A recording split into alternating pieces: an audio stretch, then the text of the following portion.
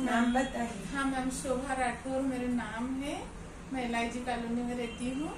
तो मैं दो साल से बहुत परेशान थी। मेरे को महीना ही नहीं जा रहा था। हर महीना आता था और इतना ब्लडिंग होता था इतना ब्लडिंग होता था। बहुत मेडिसिन ली मैंने। Doctor Chhabra madam doctor Madhu Vyas doctor B B Gupta ये सब मुझे सजेस्ट कर रहे थे लेकिन मेरे को तबीयत अच्छा ही नहीं हो रहा था। इन्होंने हेमोग्लोबिन बहुत कम हो गया। हाँ हीमोग्लोबिन छह पॉइंट। फिर डॉक्टर बीबी गुप्ता ने आपका सजेस्ट किया मुझे कि बोले कि डॉक्टर सुष्मिता मुखर्जी के पास चले जाइए, वो आपको सबसे बढ़िया तरीका बताएँगे। अगर निकालना होगा उधर तो निकाल देंगे, नहीं निकालना होगा मेडिसिन से ठीक होगा तो मेडिसिन से ठीक करेंगे। तो मैं फिर मैम आपके पास आई और आपके पास आने से मेरे तो हालत बहुत ज़्यादा खराब था। गुप्ता जी ने तो बोल दिए थे कि अगर तुम नहीं निकालो इसको तो मर जाओगी। ब्लडिंग बहुत हो रहा है और कम हो गया बहुत ज़्यादा। फिर मैम के कहने पे मैंने फिर सब कर लिया सही पर सही हो गई। मुझे तो बहुत खुशी है मैम ने ऑपरेशन कर मुझे कोई तकलीफ़ हुई न कोई प्रॉब्लम हुआ न अभी भी मैं मस्त हो गई हूँ बात कर रही हूँ। अभी बेटी की शादी है। अभी ट्वेंटी सेवन जनवरी को बेटी की शादी और मैम को ही आना है वो शादी में तो।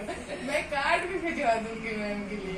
पहले मतलब दूरबीन वाला आपको थोड़ा लग रहा था कि पता क्या होगा डर लग रहा मैं तो सच बोलूँ मैं तो हॉस्पिटल से इतना डरती थी इसी चक्कर में ही मैंने ऑपरेशन नहीं करवा रही थी।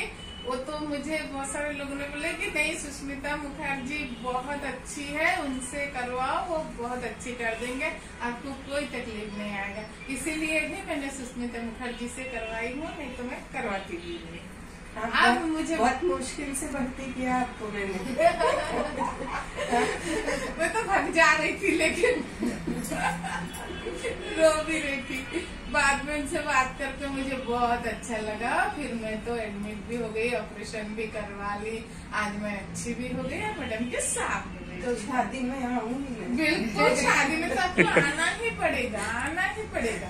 बस आप अच्छे रहे। थैंक यू आपका बहुत बहुत धन्यवाद जो आप हमारे लिए इतना सोचे इतना मतलब एक डॉक्टर का जो कर्तव्य हर कोई नहीं निभाते हुए दिखते हैं आजकल। मुझे आपने दिखा वो चीज़ इसीलिए मैंने आपसे करवाई नहीं तो सच में मैं नहीं करवाती अभी। वो तो उसी दिन भाग जाती है अस्पताल से।